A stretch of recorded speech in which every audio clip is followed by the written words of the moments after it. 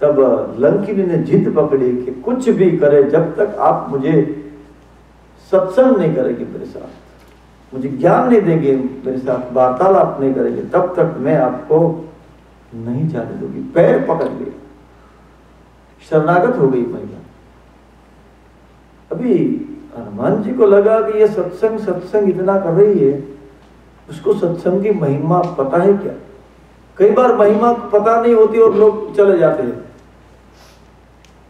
तो ये सत्संग की बात कर रही मगर सत्संग का क्या प्रभाव है?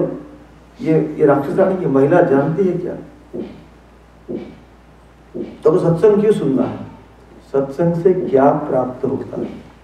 हनुमान जी ने पूछा, तब लक्ष्मी बोलती है, अद्भुत बोली स्वर्ग अपवर्ग सुख। धरिय तुला एक अंग। तुलन ताही सकल मिली। जो सुख लब सतसंग हनुमान जी महाराज, आप संत है और संत के शब्दों से क्या मिलता है, आपको क्या पता? एक तराजू लिया जाए। दरिया तुला एक अंग। एक अंग में तराजू को उठाया जाए।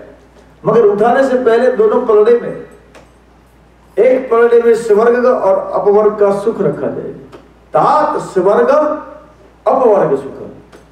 स्वर्ग यानी कि एंटायर मटेरियल डॉलर पाउंड हीरा, माणिक जवेरात घर, वाड़ी, गाड़ी, दस्तावेज़, जो भी हम साथ में लेके नहीं जाने वाले हैं, वो उसको बोलते हैं स्वर्ग। और अपवर्ग यानी, वहाँ जाने के बाद जो सुख की प्राप्ति होती है, अनुभव होता है। जदगत वाह न निवर्तनते तद्धामम परमम कुंठ में जाकर, कैलाश में जाकर, जिस सुख की अनुभूति होती है, उसको कहते हैं अपवर्ग का सुख। तो एक पलड़े में स्वर्ग का सुख और उसके साथ अपवर्ग का सुख रखा जाए। दूसरे पलड़े में सिर्फ़ सत्संग को रखा जाए। फिर बाद में दरियतुला एक अंग। उठाओ। तुलनता ही सकल मिली, जो सुख लब सतसंग। लंकिनी कहती कि हनुमान जी महाराज, सत्संग के पलड़े को ये स्वर्ग और अपवर्ग के सुख भी उठा नहीं पाते। हनुमान जी महाराज लंकिनी के साथ सत्संग करते हैं। और जिसके जीवन में सत्संग है। मति कीर्ति गति भूति बलाई, सो जानब सत्संग प्रभाव। सत्संग से क्या होता है? वेस्ट ऑफ़ टाइम लोग बैठे रहते हैं, समय बिगाड़ते कई लोग, बौद्धिक लोग तर्क देते हैं। और सभी के तर्क का स्वागत करता हूँ मैं। मैं कोई गलत है ऐसा बोलता ही नहीं सब लोग सही है। क्योंकि रुचि नाम वैचित्रात ध्रुजकुटिल नानाम पदशाम नृणाम एको गम्य पैसाम अर्णव इव। रुचि के भिन्नता के कारण सबको अलग अलग में रुचि होती है। तो किसी को क्रिटिसाइज नहीं करना चाहिए। मगर भगवान को पाने का पहला रास्ता है सुनने का। और सुनने के लिए श्रवण ज़रूरी है। जब कथा होती है, वार्ता होती है सत्संग होता है। और आप ऐसा मानते हैं कि ये मंदिर की ओर से मेल आ गया, इसलिए आप आ गए? ना। राम कृपा बिनु सुलभ न सोई। ये राम की कृपा है कि हमको ये सत्संग मिला है। तो राम की कृपा से, प्रभु की कृपा से बिनु सत्संग विवेकन होई। राम कृपा बिनु सुलभन सोई। ये हमारे जीवन में दुख का कारण है ना? वो विवेक है। क्या करना चाहिए और क्या नहीं करना चाहिए? कल हमने बताई थी ना वो सिगड़े वाली बात। कि वो विवेक का उत्तम उदाहरण है। तो उस विवेक की प्राप्ति सत्संग से हो सत्संग से होती है, मगर सत्संग भगवान की कृपा से होता है। यहाँ लंकिनी के ऊपर हनुमान जी महाराज की कृपा हो गई, उसको सत्संग मिला। अब तीसरी बार हनुमान जी महाराज अग्रसर होते हैं। सुरसा ने आशीर्वाद दिया, वैसे ही लंकिनी ने आशीर्वाद दिया। कि जाओ हनुमान जी महाराज, आप लंका में जाओ, मैं बोलती हूँ। आप जाओ। आपको जो भी करना है प्रभसी नगर कीजिए, सब काजा आपको कोई रिस्ट्रिक्शन नहीं। जो भी करना है, और हनुमान जी ने कुछ करने का बाकी भी नहीं रखा। प्रभसी नगर कीजिए, सब काजा मगर कंडीशन अप्लाई हृदय राखी, कौशलपुर राजा। आपके हृदय में राम रहने चाहिए। हृदय से राम हटा, दुर्घटना घट जाएगी। आप हृदय में राम के रखकर लंका में जाइए और जो भी करना है आप कीजिए। हनुमान जी महाराज, मैं आपको आशीर्वाद देती हूँ। मैं आपको शुभकामना देती हूँ। यदि यदि आपके हृदय में राम होगा तो गरल सुधारिपु कर ही मिताई। गोपद सिंधु अनल शीतलाई। बहुत ही बढ़िया। हनुमान जी महाराज, आप लंका में जाएँगे तो लंका कैसी है? राक्षसों का देश है। तो वहाँ आपको जहर मिलेगा, गरल अर्थात विष। मगर हे हनुमान जी, विष सुधा बन जाएगा। गरल सुधा अर्थात अमृत nectar poison become a nectar यदि आपके हृदय में राम रहेंगे तो हे हनुमान जी महाराज, आप प्रेम से जाइए। हृदय में कौशलपुर के राजा यानी कि राम रहेंगे तो आपके सामने कितना भी विष आएगा, आप पी आपको कुछ नहीं होगा। वो विष आपके लिए अमृत बन जाएगा। गरल सुधा रिपु कर ही मिताई। हनुमान जी के कोई सगे संबंधी फ्रेंड्स फेसबुक वाले ट्विटर वाले, कोई नहीं थे। मगर फिर भी उनका सब काम हो गया और रावण का भाई उनका मित्र बन गया। कि गरण सुधा, रिपु यानी शत्रु, आपसे शत्रुता नहीं करेंगे, आपके साथ आपके मित्र बन जाएँगे। वो कब बनेंगे? यदि आपके हृदय में प्रभु राम का स्मरण शुरू होगा तो गरल सुधा रिपु कर ही मिताई और अद्भुत उदाहरण दिया कि गोपद सिंधु अनल शीतलाई। गोपद अर्थात काउस। पैर सिंबल। गाय के, पैर के, खरी के माप का खंडा। गोपद। एक कटोरी, जैसी बड़ी कटोरी होती है ना, गीली ज़मीन से गाय चलती है तो जिस प्रकार का खड्डा हो जाता है, उसको कहते हैं गोपद। तो ये गोपद कैसा कैसा बनेगा? गोपद आपके जीवन में कैसे आएगा? तो गोपद सिंधु सिंधु अर्थात औसम दरिया। बड़ा समुद्र आपके लिए, हनुमान जी महाराज, छोटा सा गाय की खरी के माप का खड्डा आप पाँच सात खड्डे को एक साथ में कूद सकते हो। जा पर कृपा मारा राम जी की हो ता पर कृपा करे सब कोई।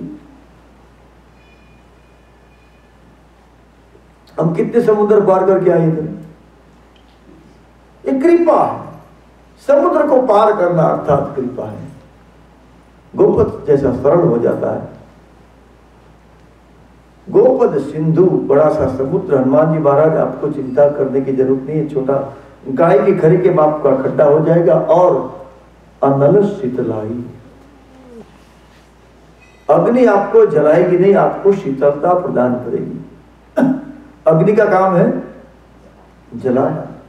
लो नेचर मगर यदि आपके हृदय में राम है तो अग्नि आपको जलाएगी नहीं। गरुड़ सुमेरु रेणु समताही राम कृपा करी चितवा जाही बड़ा सा पर्वत आपके सामने आ जाएगा, सुमेरु पर्वत। मगर हनुमान जी, आपके लिए तो वो रेणु धूल की एक रजकण के बराबर हो जाएगा। गरुड़ सुमेरु रेणु समताई, राम कृपा करी चित्तवाज राम का स्मरण करके हनुमान जी महाराज, पैठा नगर सुमेरी, अति लघु रूप धरे हनुमाना, पैठा नगर सुमेरी भगवान। तीसरी बार बैठे जब जब भी आगे निकलने का वो प्रस्थान होता है, हरि का स्मरण। लंकिनी को आशीर्वाद देकर लंका में आए। यहाँ शब्द बहुत अच्छे लिखे हैं कि मंदिर मंदिर प्रति करी शोधा देखे जहाँ तह अगणित जोधा। यह मंदिर कौन सा था? लंका में कौन सा मंदिर था? माता जी का था राम का था, कृष्ण का था। शिव का भी नहीं बनाना बाकी था। ये लंका जो दुर्ग है ना, वो कैसे, रावण के कब्जे में कैसे आई? रावण लंका अधिपति कैसे बना? सभी देवताओं ने भगवान महादेव को कहा कि महादेव जी आप ऐसे कैलाश में बैठे रहते हैं। कुछ ढंग का कोठी बनाओ। हम लोग आते हैं तो हमको शर्म आती है। आपकी सगवरता के लिए नहीं तो कम से कम हमारे लिए तो आप बनाइए। सभी देवताओं ने विनती की तो विश्वकर्मा को बुलाया। और विश्वकर्मा को कहा कि ठाकुर जी के लिए, भगवान भोले बाबा के लिए सबसे अच्छा निवास बनाई। वे भगवान शंकर ने कहा, कोई बात नहीं, मैं रहने जाऊँगा। तो विश्वकर्मा ने अद्भुत कोठी बनाई। इर्द गिर्द पानी, अद्भुत बंक, वो कनक कोठी, विचित्र मणिक। सुवर्ण का किला बनाया, दुर्ग बनाया, उसके अंदर भगवान शंकर को निवास करना था तो अनेक प्रकार के मंदिर बनाए। मगर हम कोठी बनाते हैं, घर बनाते हैं तो प्रवेश से पहले वास्तु करना होता है। वास्तु के बगैर हम नहीं प्रवेश करते हैं। तो ये वास्तु कौन है?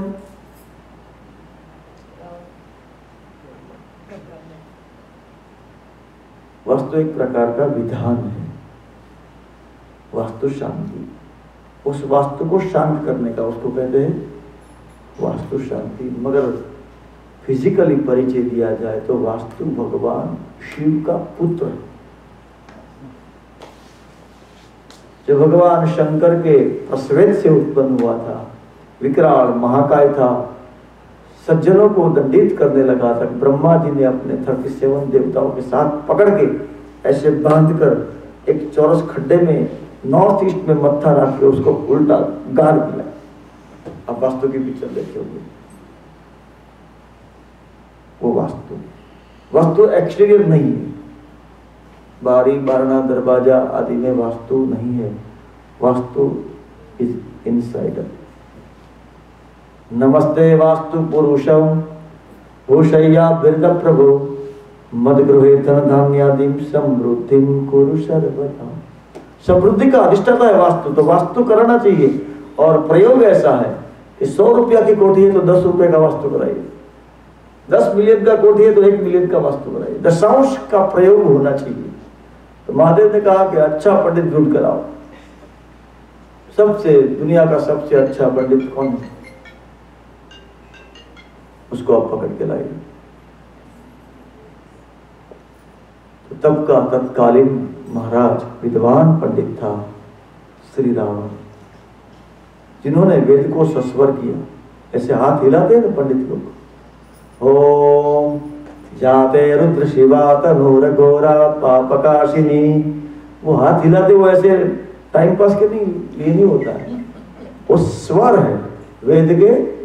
ओम गणानंदवा गणपति गुम हवा वहे वो स्वर है।